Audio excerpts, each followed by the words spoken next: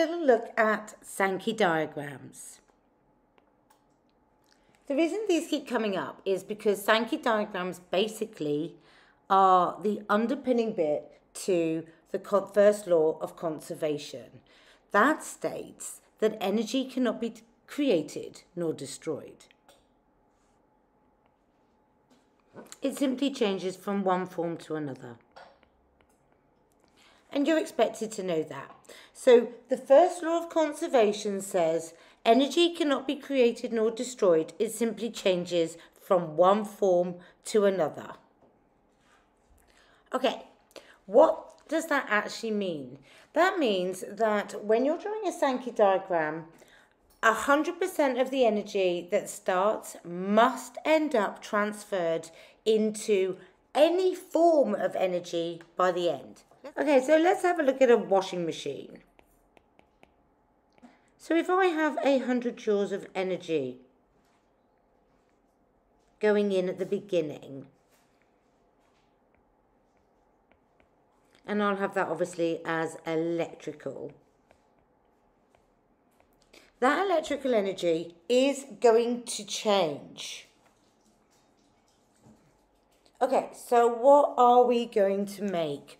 We are going to change that electrical energy into sound energy. You have movement. We're going to have heat. And we're going to have a small amount of light. Sometimes they'll give you a graph paper to use to calculate this, which is amazing, which means that you just use the scale to work out where the energy has gone. But in the worst case scenario, you need to understand it in its simplest form.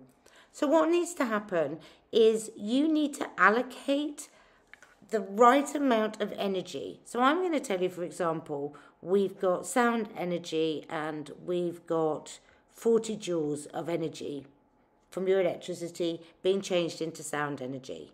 We've got 30 joules of our electrical energy being turned into movement energy.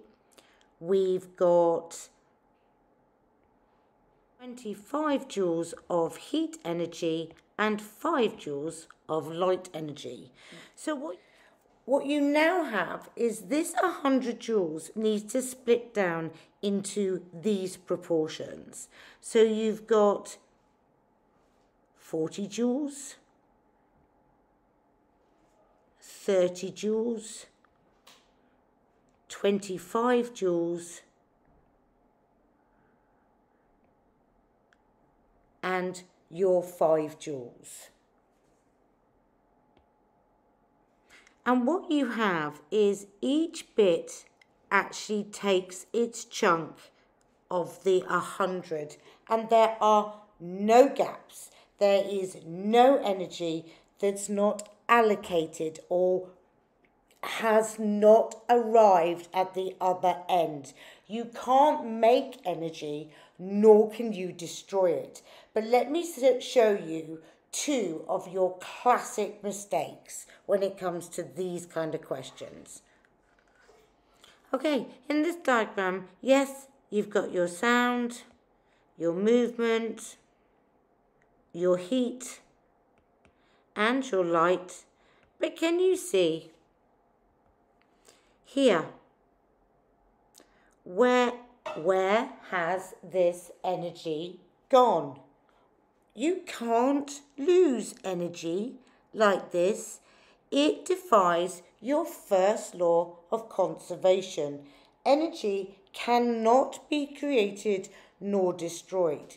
This is a really easy mistake, but look at the difference between the two. I'll show you another one.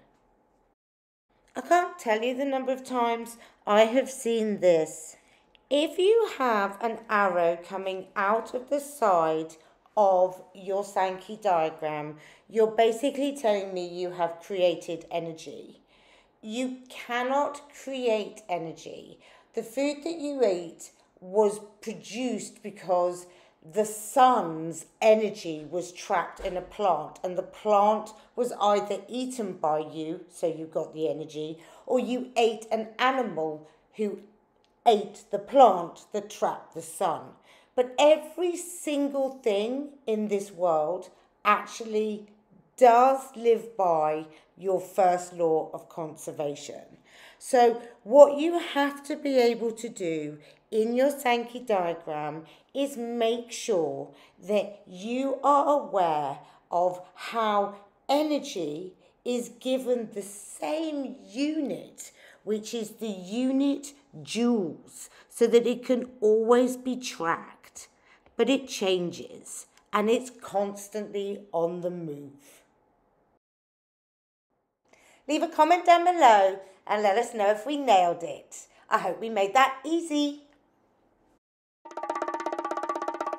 thank you